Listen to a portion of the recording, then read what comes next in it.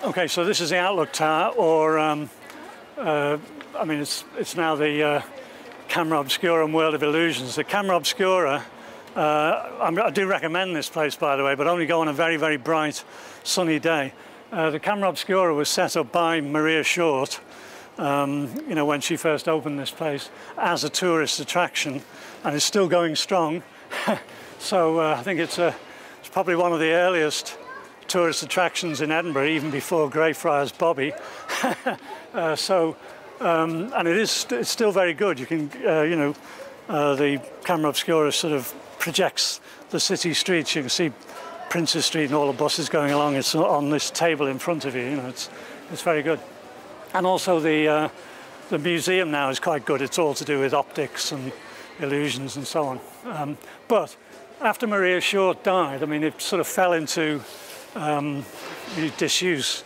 Uh, and it was later um, refurbished by a man called Patrick Geddes. Now, I don't know if you've heard of Patrick Geddes, but very, very famous man, although he ought to be more famous. Uh, he started out as a, a, biologist, as an evolutionist, wrote a book called The Evolution of Sex, which uh, caused a bit of a scandal at the time. You know, this is in the 1880s.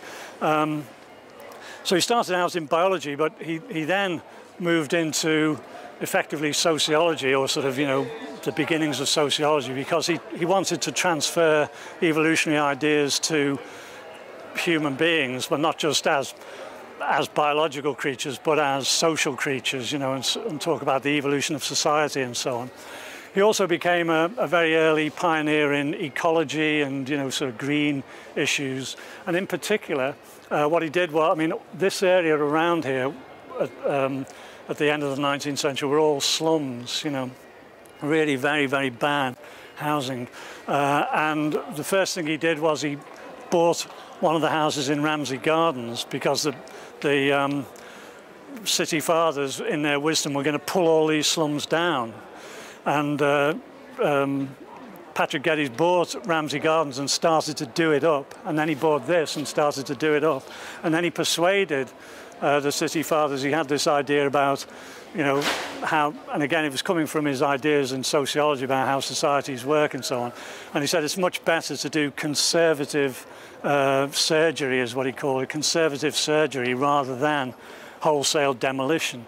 And so a lot of the buildings along here, which are sort of now medieval buildings, and particular, in particular Milnes Court, which is now, some of you may live there, I don't know, it's a hall of residence for students uh, owned by the university, and Geddes persuaded the university to buy that for the use of students. Um, in those days, there were no uh, student residences, you know, in Edinburgh, you know, so that was the first one.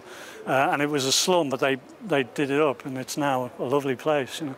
Uh, and so all of this area sort of uh, is now a big tourist attraction because of all these old buildings, but uh, they were all going to be put flattened, you know, in the at the end of the 19th century, and it was Patrick Geddes who stopped them, you know. So, and we're now going to go down Patrick Geddes steps back to uh, the Grassmarket.